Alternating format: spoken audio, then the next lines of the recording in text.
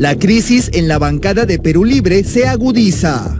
La renuncia de los congresistas Jaime Quito, Alex Flores, Alfredo Pariona y Silvana Robles no cayó nada bien en la interna de la bancada del lápiz y finalmente estos legisladores fueron expulsados de su grupo parlamentario.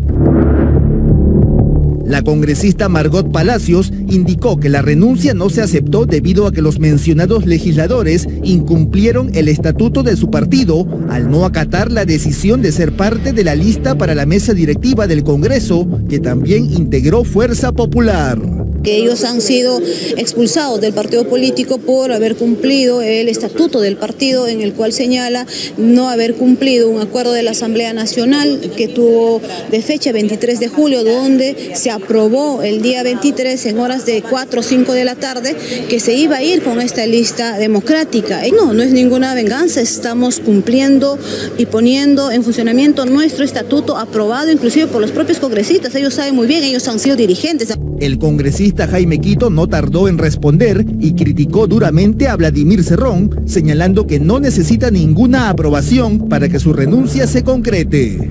Yo creo que el señor Cerrón ha aprendido rápidamente de todas las prácticas del fujimontesinismo, en que no, no respeta el debido proceso en lo absoluto.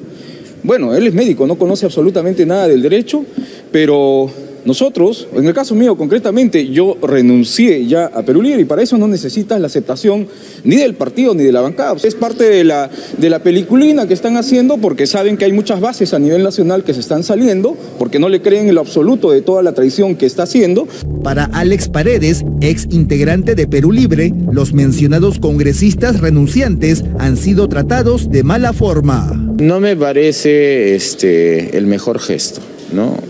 El, desempeño de, Jaime Quito, de Alex Flores, ante, dentro y frente a Perú Libre, creo que no justifica para nada, ¿no? Eh, ellos han esgrimido razones y hay que entender sus razones. Y, creo que la, la lealtad que ellos han mostrado a Perú Libre no se condice con ese hecho. En ese sentido, Guido Bellido, también ex Perú Libre, mencionó que las renuncias se consideran aprobadas cuando pasa cierta cantidad de días sin respuesta. En el reglamento requiere acotar, o sea, cuando uno presenta este tipo de solicitudes, en cuánto tiempo la bancada debe responder, o sea, no puede superar más de siete días.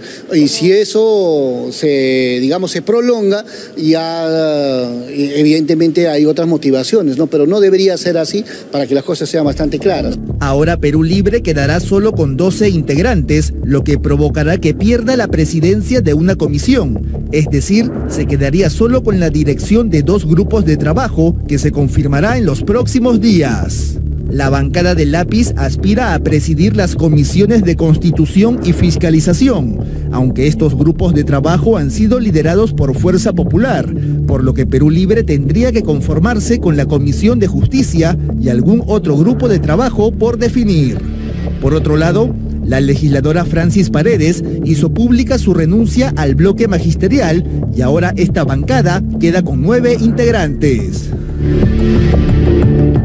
Quedan 12 congresistas en Perú Libre en el Congreso de la República. ¿Recuerdan con cuántos congresistas llegaron ese 28 de julio del 2021? Vamos a repasarlo. El 28 de julio tenían 37 congresistas, gran número, 37 congresistas. El 16 de diciembre de ese año perdieron 5 congresistas. Luego, en mayo, tenían 10, pierde 10 congresistas. Las siguientes fechas, también en mayo perdió un congresista. Luego, en junio también, cuatro congresistas. Entre febrero, marzo y junio perdieron cuatro congresistas del 2022. Luego, a final de año, en noviembre del 22, perdió un congresista.